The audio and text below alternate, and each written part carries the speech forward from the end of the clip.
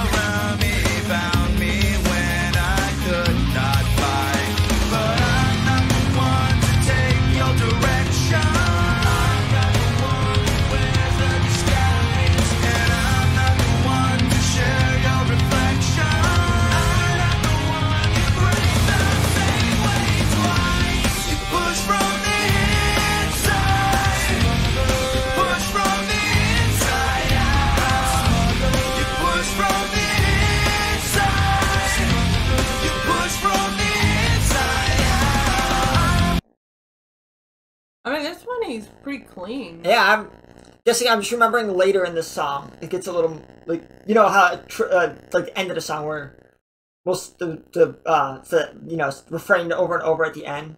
It gets a little more yelly, but yeah, it's way more clean than I remember. Yeah, because first we're already halfway through the song, Yeah, pretty much. So I will say, uh, I'll say Johnny's got a nice, clean voice. yeah, he does. I like his clean voice. Like he's he's got a nice voice. Like, and the more I'm looking at these bands trying to find out their singers, the more I'm finding out like I really like nu metal. I guess it was what was on the radio in the early aughts. Like that was the big thing. So even though this is, doesn't really fit that nu metal because it's not really genre bending at all. I mean, but also like we haven't uh, heard like all their songs. This is true. So they could have other ones that are more of a mixture of genres. So I can't say because this is the first I've never heard this before. So, Yeah, I like it. It's a good song. but yeah, it's, I mean it's pretty good, nice and heavy. Um, and yeah, he, uh, Johnny's just got a really pretty clean voice, uh, clear voice. So Yeah. Well, let's get back to it.